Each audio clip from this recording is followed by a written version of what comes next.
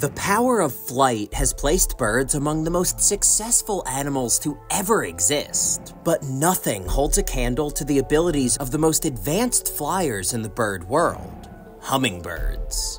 These guys can do things that no other bird is capable of. They're able to fly in any direction with mesmerizing speed and control. And they power their unparalleled flight with a metabolism that is straight up insane. Their stunning array of colors is beaten only by their staggering diversity, as over 100 species of these dazzling gems can live in the same place at the same time. But how are they able to fly like this? What is the purpose of those brilliant colors? And how can so many of them all coexist without competition wiping them out? The answer is that it all comes down to one very special food. Hummingbirds are probably the most instantly recognizable birds on the planet, and when you see them up close, they're so crazily evolved that I almost give some credit to the birds or government drones nut jobs. They do kinda look like drones when they fly, but at a seriously tiny scale. Hummingbirds average 7 to 13 centimeters in length. That's 3 to 5 inches, so about the size of your phone, but they're only the weight of a couple pennies. They are, in fact, the world's smallest birds, but judge them by their size, you should not, because they make up for their diminutive stature with absolutely insane biology. Their physical abilities are mind blowing. Trying to keep up with even one hummingbird buzzing around you is equal parts fascinating and impossible. But here in Ecuador, there are a whopping 133 different species of them. Each one is more beautiful than the last, but because they're active all day and rarely sit still for long, hummingbirds are exceptionally difficult to film in the wild. That is why we have come to a remote lodge tucked deep into the cloud forests of the Andes Mountains. Because many of the ecotourism lodges in Ecuador offer the unique chance to see hummingbirds up close by leaving out specialized feeders full of a sugar water formula very similar to their natural diet which all the hummingbirds in the area learn that they can visit for an easy meal. Because they encounter lots of humans around these feeders, the birds have mostly lost their fear of us and let people get very close. But it's important to note that they're completely wild and can leave at any time. This setup allows us to get much better shots of far more species than we could in the field, which will let us show you parts of their amazing lives that you've never seen before. My name is Harrison, and this is Evan.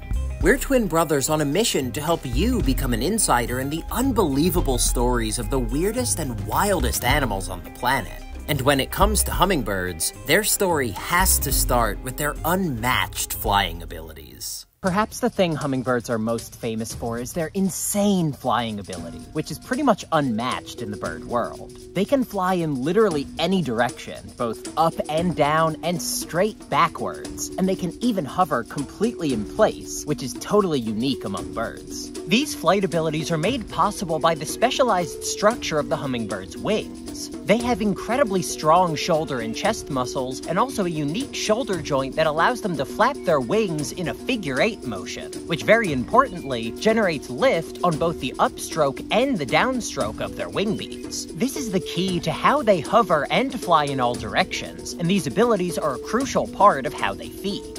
Now, food is particularly important for this technique because it is extremely energetically expensive and taxing to fly this way. Just to keep themselves in the air, some hummingbirds will flap their wings up to 80 times per second. Their bodies are literally going into overdrive to make this work. You're not kidding. At the peak of their activity, their hearts will beat over a thousand times per minute. And when they're flying this way, their bodies will consume 10 times more oxygen than even the most elite human athletes. Now, that's a lot of effort just for a meal, but it's actually what they're eating that makes this all worth it.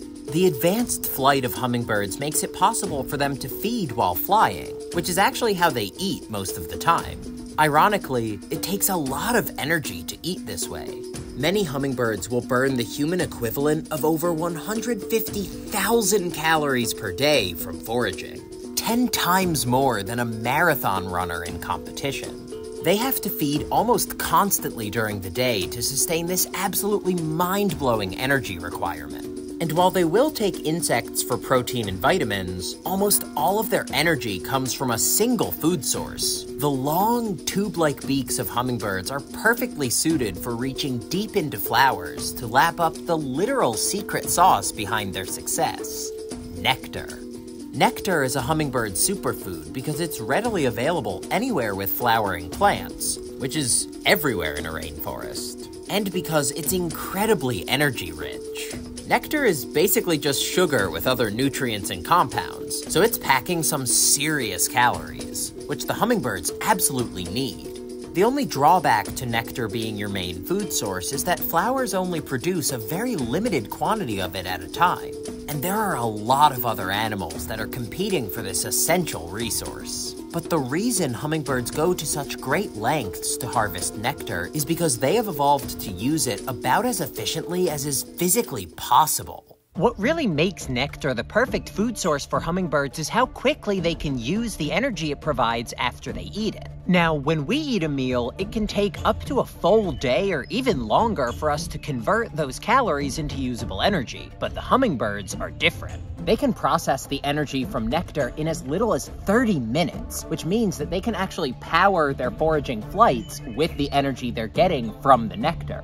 And in fact, they can power up to 100% of all of their metabolic activity just from their food. And that's really the only reason why their foraging style is possible in the first place. Now here's what's interesting.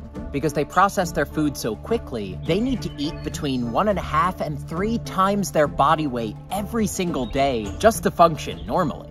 To accomplish this, they have to visit between 1,000 and 2,000 flowers every day, and that's a lot of foraging for such a small bird. So you may wonder how it is that hundreds of hummingbird species that all need to feed on thousands of flowers are able to coexist in the same place. When we watched these birds interact and kind of fight around the feeders, it was almost like they were never going to see food again with how adamantly they were defending it. But that's because competition is fierce in the cloud forest. We've been watching the hummingbirds fight over these feeders all morning, and it's really fascinating to watch. It's a great opportunity to see how these birds have to compete for resources here. There's probably no better example of that than the buff-tailed coronets. They're the larger hummingbirds that we see hopping down to the feeders, and they'll actually bully the other species and push them out of the way so that they can get more of the sugar water. And that's just a perfect example of how these animals have adapted their behavior to target the resources they need and force their way in when necessary. And the thing about that is that when you have all of this competition, that drives species to eliminate it as effectively as they can through their evolutionary pathways. So that is one of the major reasons why we see the hummingbird diversity that we do here in Ecuador. The birds need to specialize so that they don't have to constantly compete when the resources aren't as abundant as they are here at the feeders. When you're out in the rainforest and the flowers are diverse, but the resources are quite limited, the birds that specialize are the birds that survive. And it hasn't been just the birds. Just as hundreds of species of hummingbirds rely on flowers for their food, over 7,000 species of flowering plants rely on hummingbirds for pollination, which, reminder, is a key step in plant reproduction. Flowering plants and the hummingbirds that feed on them have undergone a process called coevolution, in which species that interact frequently influence each other's evolution in a way that benefits their relationship. Take a species like the sword-billed hummingbird as a perfect example all. They have comically oversized bills that are actually longer than the length of their body, but this is perfect for feeding on flowers like this Passiflora species, which has evolved its own incredible length to prevent any other pollinators from accessing its nectar. Now, it was once believed that all coevolutionary patterns were this one-to-one relationship with one pollinator and one flowering plant, but it's now understood that they're not quite this closely associated, but what you will see is hummingbirds with long beaks being better able to pollinate certain kinds of flowers, while hummingbirds with shorter beaks are better able to pollinate different kinds of flowers. So that's how they're actually preventing the competition. They're splitting up the resources in a way that they're not all competing for the exact same things. And they both get something important out of this relationship. The hummingbirds benefit because they have far less competition for their very important food source, and the flowers benefit because it makes their reproduction much more efficient when the animal that pollinates them is extremely likely to go pollinate another member of their species. This diversification has been ongoing for tens of millions of years, and hummingbirds have now specialized to the point that competition doesn't even hinder their chance at survival. But this is only half the puzzle when it comes to hummingbirds. Coevolution explains how they can all live in the same place and why we see so much variation in their beak shape, but that doesn't explain their stunning coloration and also crazy features like this super long tail. You'd think that having such a long tail would make it way harder for them to fly, and you'd be right. That being said, as usual with lots of pretty things in nature, it all comes down to reproduction, because the females are very choosy about what features they want their partners to have. Hanging out at these feeders, we've seen a ton of really cool new species, and there are two that have really captured our attention, the violet-tailed sylph and the booted racket-tail. And both of those birds get their names for a reason. Their tails are absolutely amazing. For such a small bird, and especially with hummingbirds that fly so quickly, you may wonder how it is that they've evolved these super long tails that would give extra targets for a predator to grab onto and they weigh the birds down pretty heavily. But the reason these traits have evolved is because the females love the males with longer tails and prettier colors because it indicates their fitness, their health. If a male is able to survive with a long ornamented tail, it's a sign that they're strong and able to fend for themselves even with this additional weight. That shows that they will probably have good genes that make them a good partner to mate with. Female hummingbirds really call the shots when it comes to mating, and over millions of years and hundreds of thousands of generations, they've selected for males with the brightest colors and the biggest ornamentations. So that's basically created a survival advantage for birds that have these traits, and those are the traits that end up being passed on to future generations. This evolutionary process is called sexual selection, and it's actually where a lot of the gorgeous colors we see in nature, especially in the bird world, come from. Color is much more than just decoration to hummingbirds, though, because believe it or not, their bright coloration is one of their most important communication tools. But to understand how that works, you need to understand where hummingbird colors come from. Hummingbirds have the widest variety of feather colors of any bird family, but rather than coming from actual pigments, their color is created by the way the unique structure of their feathers reacts with light. A bit of basic physics for context. We see color when an object reflects a certain wavelength of light into our eyes, and the color of light that's reflected is determined by the physical structure of the object. In the hummingbird's case, their feathers contain several layers of specialized structures that scatter light in different ways when it passes through them. The varying arrangement and layering of these structures causes the color of light that gets reflected to change depending on the angle you view it from, a phenomenon called iridescence. The angle only has to change a tiny bit to instantly display a bright new color. And it's this rapid color changing ability that makes structural coloration such a useful communication tool for these birds. Hummingbirds are so small that you'd think that they would be kind of delicate and a bit shy, but in reality, they are anything but. These birds are socially complex and highly territorial, and they will aggressively defend their favorite feeding patches or resting spots from any other bird. And a huge part of how they express themselves is through the manipulation of their color. Hummingbirds use patches of color on certain parts of their body, particularly their throat, chest, and wings, to express how they're feeling. For example, if a hummingbird flashes the bright coloration of its throat and tries to puff itself up to make it look as big as possible, that's an intimidation display to try and ward off potential predators. Right, and it's also very apparent in their courtship. When a male hummingbird wants to impress a potential partner, he'll use a very complex flight pattern that positions him in the perfect place for his colors to be reflected right back at the female at different points. So he'll show off his throat, the coloration on his back, on his wings, all to make him look as pretty as possible, using his structural coloration to make the female see exactly what he wants her to. And those are just a few of the uses of their structural coloration, but it comes into play during feeding bouts, during territorial disputes, in courtship like Harrison mentioned, it really adds a whole other dimension to the way that these birds can communicate, when otherwise they'd pretty much just be limited to their songs and general behavior. And what I find really interesting about this structural coloration is that the changes happen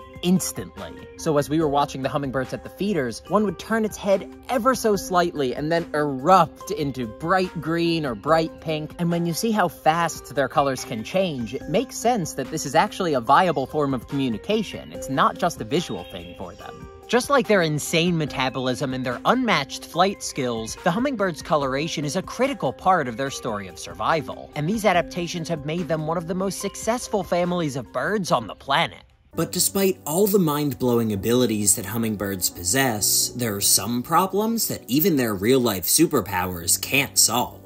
Hummingbirds are facing major threats from human activities throughout their range, especially in the tropics, and the biggest issue of all is habitat destruction. Like many specialist species, hummingbirds are extremely sensitive to environmental changes because they rely on such specific resources to survive. And when the native habitat gets destroyed for agriculture or development, they often lose access to those resources. Add on the intense environmental pressure from global climate change and competition from invasive plant species pushing out their food sources, and you have a recipe for disaster facing these incredible birds. Luckily, all hope is not lost for hummingbirds. Their beauty and charismatic behavior have attracted a lot of conservation attention from researchers and citizen scientists alike, and there's a lot of ongoing work focused on understanding the secrets of their survival. The more we learn about hummingbirds, the better equipped we'll be to protect them into the future. So just by watching and sharing videos like this, you're helping to secure a brighter future for these irreplaceable birds. If you want to meet some of the other amazing avian life that calls the cloud forest home, check out this video, where we highlight six of this ecosystem's most mind-blowing bird species. And with that, we hope you enjoyed, and we'll see you in the next one.